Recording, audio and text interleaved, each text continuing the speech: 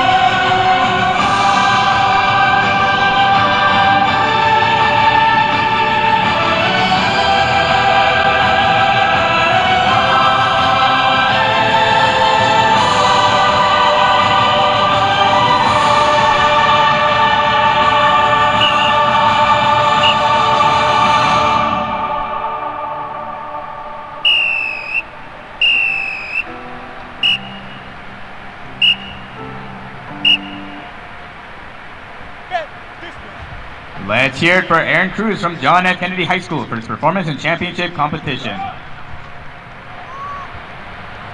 Next up will be Yarah Guillermo from Garey High School, followed by Julia Freeman from Chino Hills High School.